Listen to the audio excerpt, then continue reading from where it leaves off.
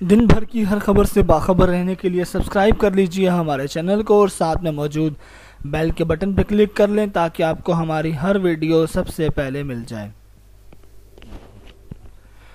لاہور میں عاشورہ کا سب سے قدیمی اور بڑا جلوس رات گئے نثار حویلی سے برآمد ہو کر اپنے روایتی راستوں پر رواں دواں ہے نثار حویلی میں ایک مجلس ازا کے اختتام پر شروع ہونے والا یہ ماتمی جلوس صوبائی دارالحکومت کا مرکزی جلوس کہلاتا ہے، جس میں لاہور کے قریب و جوار سے ہزاروں عزادار شریک ہوتے ہیں۔ جلوس کی حفاظت کے لیے دس ہزار سے زائد سیکیورٹی اہلکار تعینات ہیں، جبکہ اہل تشہیر رضاکاروں اور رنجس اہلکاروں کی تعینات اس کے علاوہ ہے۔ جلوس کی سیکیورٹی کے تحت سی سی ٹی وی کیمروں کا بھی استعمال حالیہ برسوں سے شروع کیا جا چکا ہے، جبکہ ہیلی کاپٹر کی مدد سے فضائی نگرانی بھی کی جاتی ہے۔ جلوس تاریخی اور قدیمی طور پر اندرون شہر کے اندر گھنٹوں جاری رہتا ہے، جبکہ اس کے راستے میں آنے والی امام بارگاہوں سے اس میں آزارداروں کی تعداد بڑھتی رہتی ہے، جبکہ نئے ماتمی، نئے ماتمین بھی شامل ہوتے رہتے ہیں۔ تاریخی حوالوں کے مطابق نثار حویلی سے یہ جلوس انیس سو پچیس کے بعد شروع ہوا۔ اس سے پہلے یہ جلوس مبارک حویلی سے نکلتا تھا اور اس کا روٹ بھی الگ تھا۔ تاہم نواب خاندان میں تنازعات سے جلوس نثار حویلی سے منسوب کر دیا گیا۔ یوم عاشورہ کے اس مرکزی جلوس کا آغاز قدیمی شیعہ مرکز نثار حویلی سے ہوا اور یہ مبارک حویلی درگاہ بطول اندرون شہر میں قائد مختلف شیعہ محلوں، موچی گیٹ میں اذان فجر تک اپنا سفر جاری رکھتا ہے۔ اس دوران جگہ جگہ ازادار ماتمین کی ٹولیاں نوحہ گری اور زنجیر جنی کا مظاہرہ کرتی رہتی ہیں۔ اذان فجر سے پہلے یہ جلوس چوک نواب صاحب پہنچتا ہے، جہاں علی اکبر کی روایت دہرانے کی علامت کے طور پر اذان دی جاتی ہے اور اس کے بعد یہ جلوس زنجیر زنی کرتے ہوئے پھر آگے بڑھنے لگتا ہے۔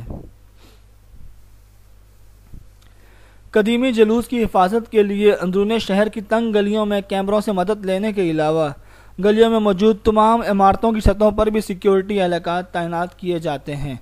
جبکہ جلوس کے آگے پولیس کی بھاری نفری کے علاوہ ان کے اس کے ساتھ اور رقب میں بھی حفاظتی اہلکار بڑی تعداد میں تعینات کیے جاتے ہیں۔ بعد ازاں جلوس مسجد وزیر خان کی جانب بڑھتے ہوئے کشمیر بازار چوک سنگ محل پہنچتا ہے۔ اس وقت زورین کا وقت ہو چکا ہوتا ہے۔ شہر کی تنگ گلیوں اور جگہ جگہ جلوس کے استقبال کے علاوہ زنجیر زنی کی وجہ سے جلوس کی رفتار انتہائی سست رہتی ہے، جو ایک روایت بن چکی ہے۔ زہرین کی ادائیگی کے بعد سرفا بازار، گمٹی بازار، ڈبی بازار اور تحصیل بازار سے گزرتا ہوا یہ جلوس امام بارگاہ مبارک بیگم پہنچتا ہے۔ امام بارگاہ مبارک بیگم، امام بارگاہ بیگم مبارک کے بعد مرکزی جلوس یوم عاشورہ بازار بازار حکیمہ، فقیر خانہ، اونچی مسجد وغیرہ کے قریب سے گزرتا ہوا بھاٹی گیٹ پہنچتا ہے، جہاں اب اس کا طے شدہ راستہ اندرون شہر کی گلیوں سے باہر سرکلر روڈ پر منتقل ہو جاتا ہے۔ اس کے بعد محض چند سو گز کا فاصلہ طے کرنے پہ جلوس کو کئی گھنٹے لگ جاتے ہیں اور یہ مغرب کی اذان کے وقریب کربلائے گام شاہ پہنچ کر اہتدام پذیر ہو جاتا ہے۔ کہا جاتا ہے کہ روایتی راستوں پر بعض جگہوں پر زلجنا بھی تبدیل کیا جاتا ہے۔ کربلا گام شاہ پر مرکزی جلوس کے خاتمے کے بعد روایتی علامت کے طور پر مرکزی شام غریبہ کا انعقاد کیا جاتا ہے۔ شام غریبہ میں بھی ہزاروں عزادار شریک ہوتے ہیں، جس کے بعد رات گئے عاشورہ کی یہ روایت لاہور میں اہتدام پذیر ہو جاتی ہے۔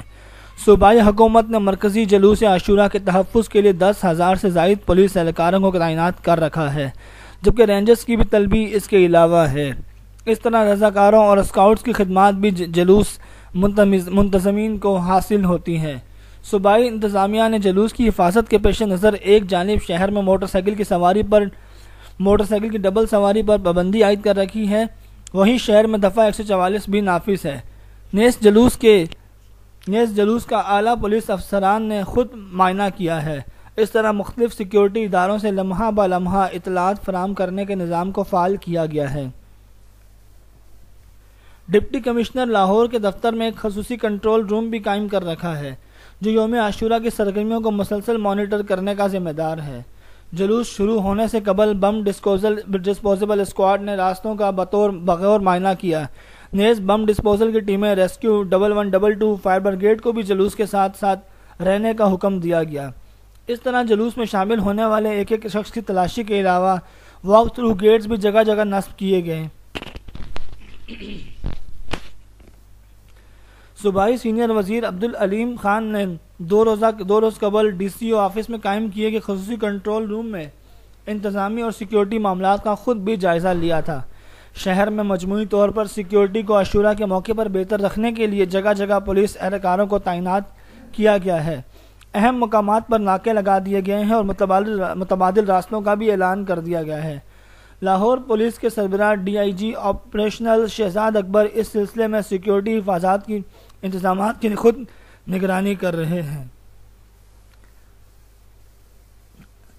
اگر آپ کو ویڈیو پسند آئی تو چینل کو سبسکرائب کر لیجیے اور ویڈیو کو لائک اور دوستوں کے ساتھ شیئر کیجیے